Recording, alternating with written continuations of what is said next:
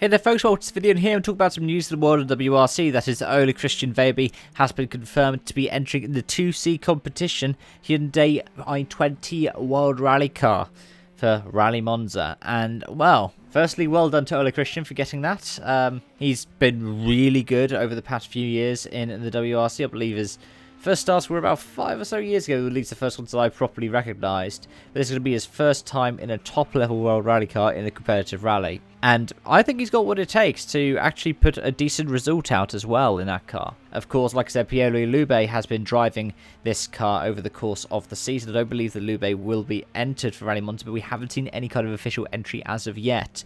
And with rumours that there might be more guest drivers as well, I wouldn't be surprised if there were more than four Hyundais at Rally Monza. There are also rumours that Andreas Mikkelsen might show up in the uh, Saintéloc C3, the one that's been used for the Pirelli tests, but uh, with the upgrades. The upgrades that we were expected to see on the Citroen for the 2020 WRC season. However, this is actually something that I'm really looking forward to. Um, like, it's brilliant to see these young drivers coming up, and I don't know if they're going to be evaluated for places next season, but I'd hope that if they're not going to be evaluated for places next season in the main squad, it might mean that Hyundai are looking at bringing a B team for 2021.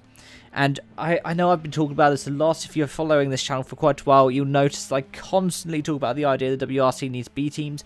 But, well, I'd really want there to be privateer entries. I'd really want there to be the ability for private teams to go, okay, I'm going to buy this car off the shelf and I'm going to enter a driver in it. It's something that we were able to see about 20 years ago in the WRC, which is funnily enough, when I started watching, not long after I was born. We don't really see that in WRC nowadays. That's because the cars are so expensive. And, I mean, Oid has been talking about a reset of regulation, which I might say for another video. But, yeah, I think that Hyundai and Toyota really need to think about booting up satellite teams. Because I reckon Veiby's going to perform quite well. Now, I mean that Hyundai, if they were to do a selection headache for just one one team of three cars next season, they'd have the problem of also having to include the likes of Veiby, Loubet, and probably Nikolay Gryazin as well if he's performing quite well towards the end of the year. As well as considering the likes of Craig Breen, Dani Sordo, alongside Thierry Neuville or Tanak. Anyway, so some my thoughts. Let me know yours in the comment section down below. Thank you so much for watching, and I hope to see you again soon. Bye-bye for now.